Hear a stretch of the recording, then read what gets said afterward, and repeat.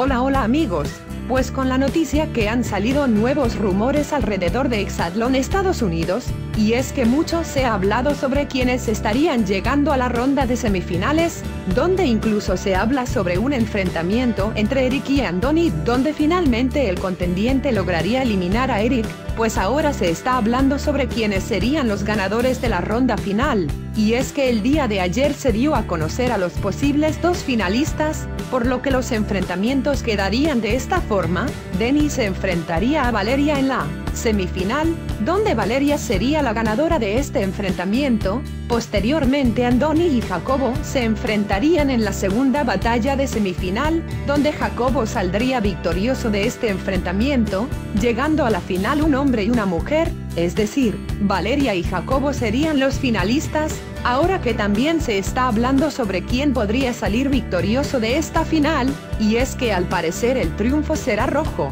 es decir, Jacobo es quien saldría victorioso de este enfrentamiento, pero obviamente todos son simples rumores, la información no se ha confirmado. Ahora que me encantaría escuchar sus opiniones respecto a esto, ¿será verdad o será mentira?